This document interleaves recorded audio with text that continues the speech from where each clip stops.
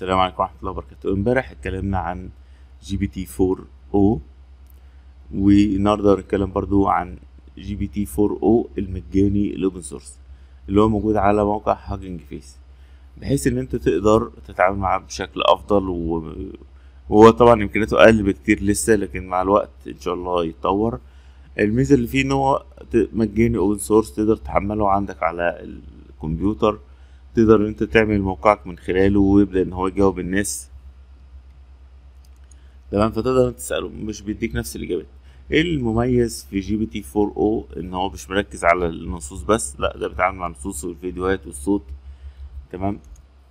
ما هو الذكاء الاصطناعي. فالمفروض إن أنت لما تتكلم معاه تفتح بقى إيه ال- الفيديو وممكن على الموبايل. ويبدأ إن هو يشوف الحاجات اللي حواليك ويبدأ إن هو يكلمك عنها ويناقشك فيها والحاجات دي كلها. فدي من ضمن التكنولوجيات اللي هتعمل طفرة في الذكاء الاصطناعي طبعا تبع OpenAI فالمتوقع إن جوجل خلال ساعات هترد وهتعمل إعلان عن الذكاء الاصطناعي اللي عندها لأن هي من زمان جدا شغالة في الفكرة ديت. شغالة في فكرة إنها تاخد كل حاجة تديك كل حاجة يعني. مثلا تديها فيديو تقدر تديك صور و text منه.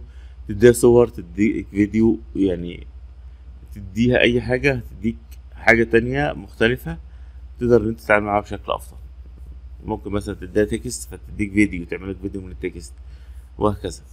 ف لو حد فاكر فيلم Her اللي هو كان واحد بيتكلم مع ال- التطبيق على الموبايل طول الوقت ونسي أصحابه ونسي قرايبه وكل حاجة بسبب إن الذكاء ده بيتفاعل معاه بشكل لحظي. يعني كان في تطبيق قبل كده كان حلو جدا كنت بتعمل معاه شات.